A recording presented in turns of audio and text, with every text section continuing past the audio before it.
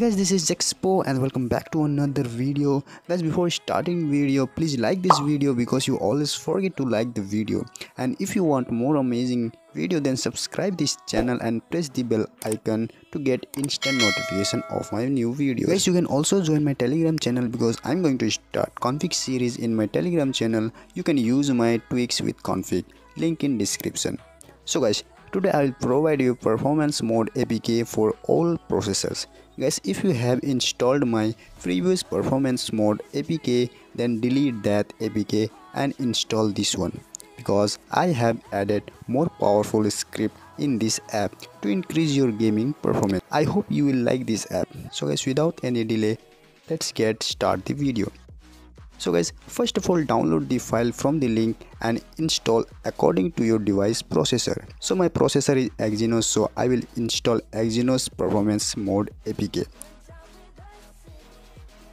app is installed successfully. Now click on done and go to settings because we have to disable the battery optimization of this app. After go to setting click on apps and search for recently installed app so here it is. Now tap on this and go to battery section. And keep this option enabled. Now tap on optimize battery uses and search for installed app and disable the battery uses. After disable this go to home page and open SetEdit app. And guys if you don't have SetEdit app then you can download it from Play Store and it's free. After open SetEdit app, tap on add new settings and add given commands.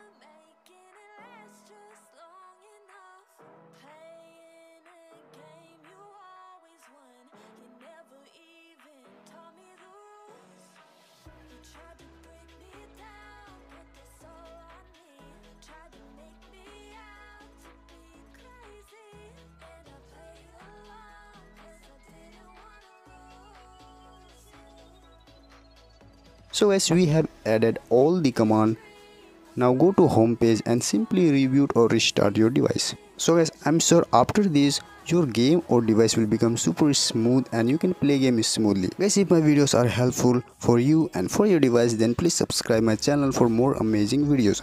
So guys, that's all for today. See you in next video. Till then, take care and signing out.